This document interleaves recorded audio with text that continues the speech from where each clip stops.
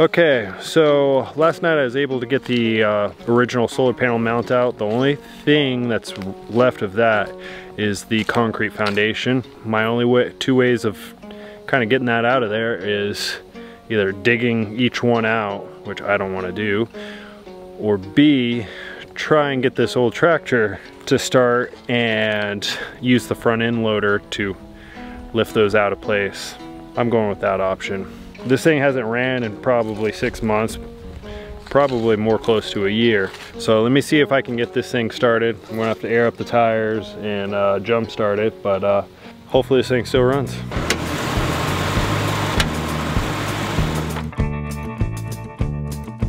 It also, this diesel's been in here for as long as we've had it. How long have we had this thing? Two years? Maybe. We haven't put any diesel fuel in it since we bought it. Trying to get it out to charge, but I think this thing's totally dead. Now a piece of art on our farm. We could plant some flowers in the bucket. Have a tree grow up through the center of it. Whatever, you know that'd be cute. I'll be so shocked if this thing starts. Right. It's probably about time to get a proper tractor. I can't believe we made it this long without one.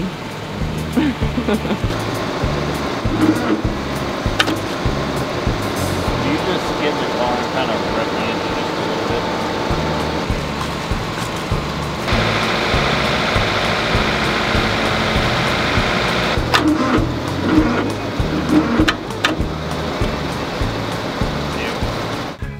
well that was a bummer with the tractor, but I decided to try one more option before I started digging.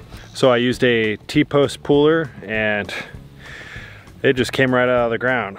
It was way easier than I expected. Uh, granted, there's no footer on these posts. It was just a concrete sonotube all the way down. Uh, so yeah, I just pulled straight up and it was quite easy. Very happy, at least this first one was. So uh, let's see how the rest of these go. Got a tank gas. Got a Got a memory of love. I'd like to. And there you have it. Two down.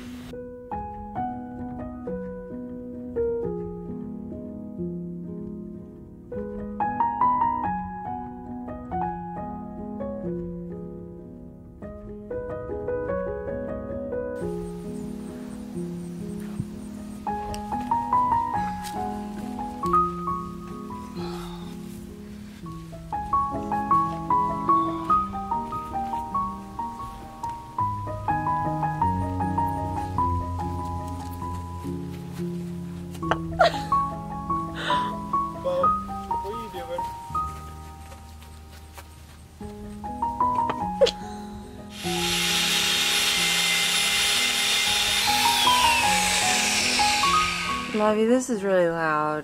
I think you should wear headphones. Okay, but no, seriously. I'm gonna go grab headphones.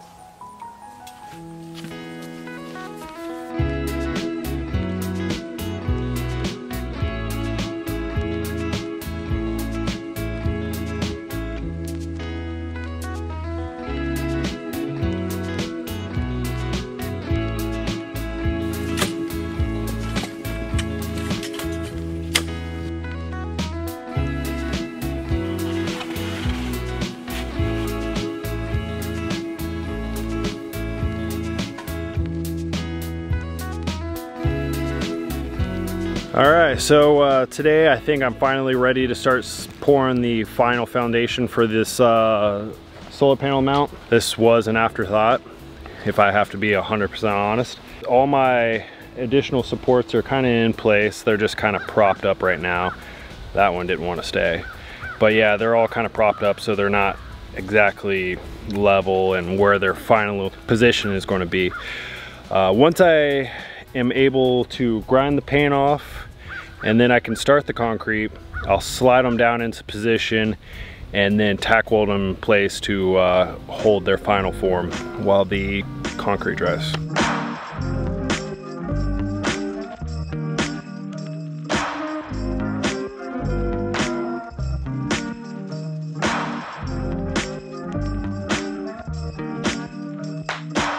Well, I ain't too far into the uh, welding process. I got everything set up and poured my concrete and thought I was going to start welding and my helmet didn't work. I'm like, I just changed the battery on this thing. Why, why isn't it working? Well, the lens or the shade, there's this like this little uh, light sensor thing right here. Well, apparently if you look close enough in that corner, I guess it got exposed to water, water spilt on it, something. I don't know. It just wants to kick the shade on and off constantly. So that's why it killed the other battery. And when I put a new battery in it, it just constantly was flickering. So what I had to do is go get a new helmet. I can actually see out of this one though. I've been needing to replace the lenses on the old helmet for a while and uh, really, really incredible what just new clear glass, how much better you can see out of it. The new lens, and that's what I was looking through to weld before. Goodness. Yeah, How could you see anything? it was difficult. Just imagine what your welds will look like now.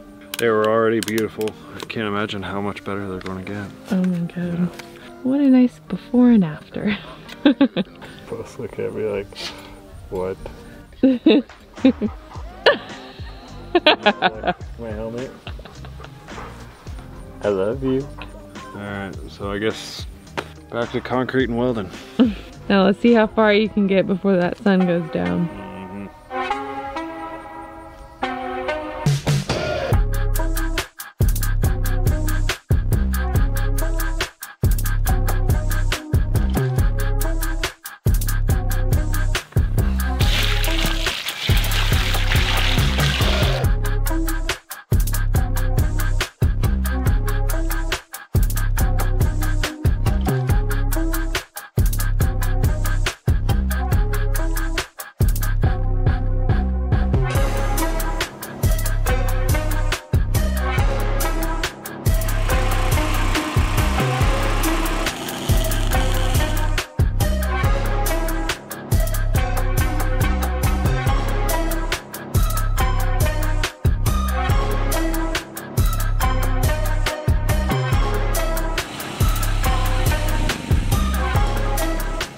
Am very happy to say that all of the concrete and welding for the additional supports is all done.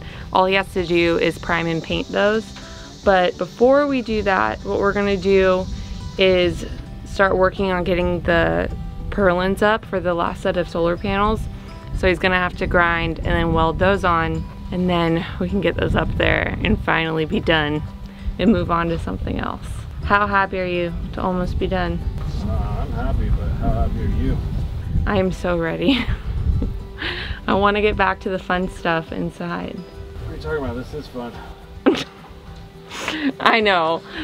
It's not fun for me. I can't even imagine how it is for you. With this brutal sun, welding in Honestly. long sleeves. Honestly, that's literally the only bad part. Oh, hauling around those 80 pound bags of concrete aren't any fun, but other than that, I like it. It's like working out all day outside in the heat. Yeah. That's why you look so good. why do you act like it's so weird to just smack your butt?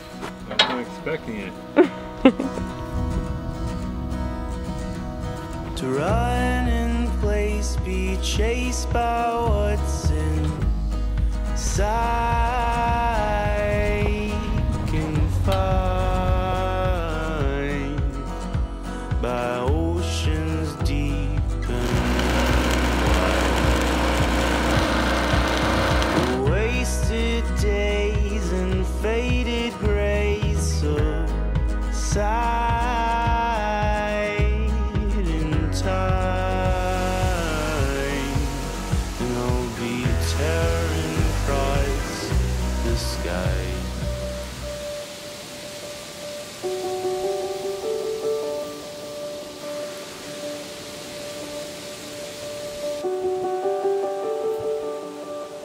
You guys, I am so happy to say that this project is quickly coming to an end.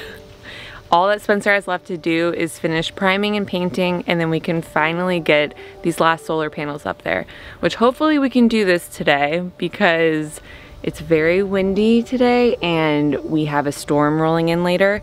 So the panels probably wouldn't be able to stay there this evening. So hopefully we can get that done. Some other stuff going on. The other day, Io was sprayed by skunk, which I cannot believe that that happened again. A few years ago, Bear got sprayed and I don't know what Bear did because his was definitely worse. Aya's smell has kind of gone away now. Oh, and something else exciting. We got our dining room table in last night. So hopefully once he gets all this primed and painted and while we're waiting on it to dry, he can work on getting that all set up.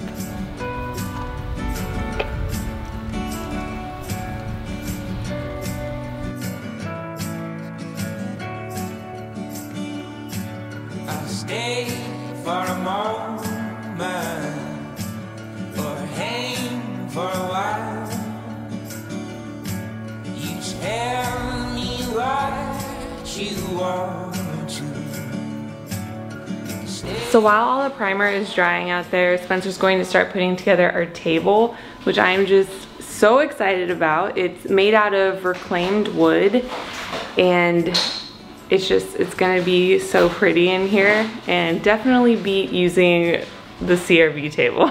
One thing about this area though, I don't know if you can really see, there are fingerprints and handprints everywhere. it needs to all be touched up, but we'll do that later. Who do you think did this, Spencer? Handprints? Yeah, was it you? Uh, maybe. The funny thing too is they all go up to like this level.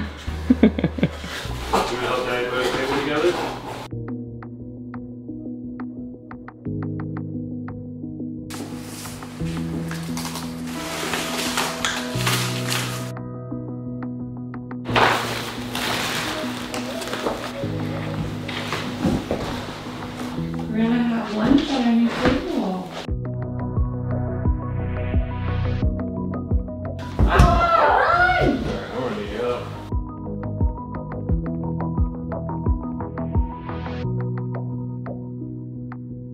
All right, so the table looks really good, but we did run into one issue. With the legs, with the uh, built-in bench, we got square legs that follow pretty much the dimension of the table. And then you got the square of the bench. So there's no room for your legs to pass by whenever you're trying to scoot down. Didn't think about that. So a minor hiccup, but it should be fine because we're pretty sure that where we got it from, they offer other legs that you can get for the table. So it should be fine. But this will work for now.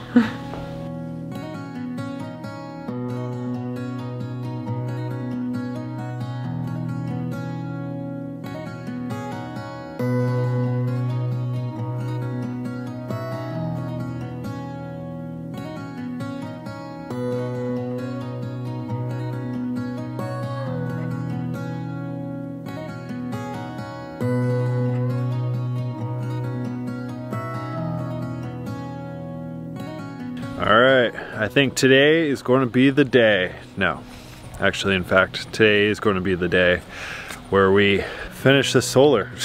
These bottom panels are going up.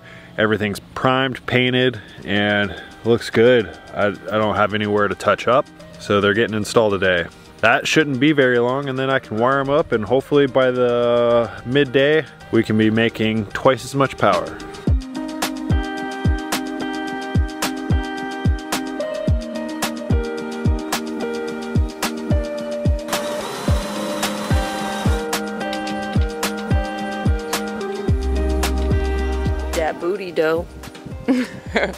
This could be our thumbnail.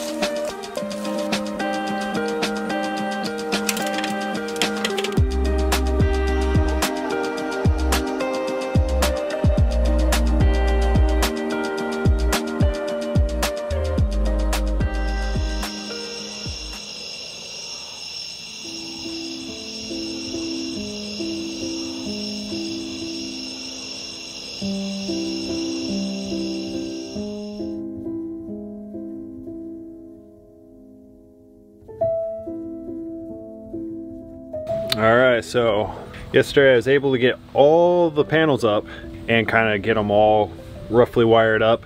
I still have to run the actual wires. I got six in series, so I got to run uh, positive and negative to the combiner box on each run. But I figure I would touch on how this is all kind of wired because it's a little bit different than it was before. Before we just had 12 panels, three in series, four in parallel. What I'm doing now is just running a higher voltage. So I'm gonna have six and six in series. So I'll only have two in parallel for each charge controller.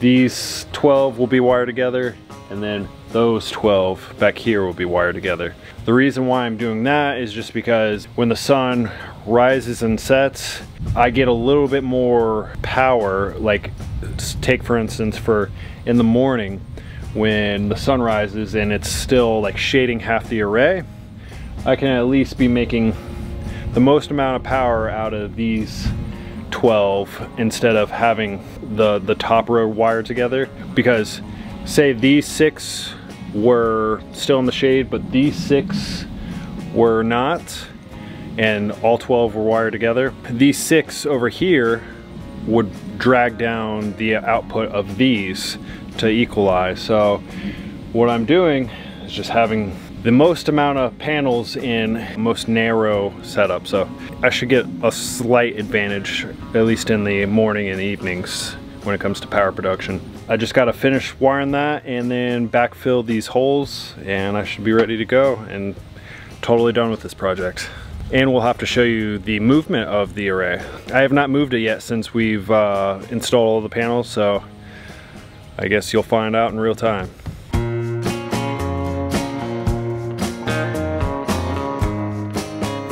So Spencer got the first half of that bottom row of the panels all wired but it started raining and he's ran out of PV wire, so we have more ordered and on its way. But in the meantime, what we're going to do is work on some stuff in the kitchen. We got our trash can just delivered today. Spencer's going to work on installing a shelf and install all the hardware on our cabinet.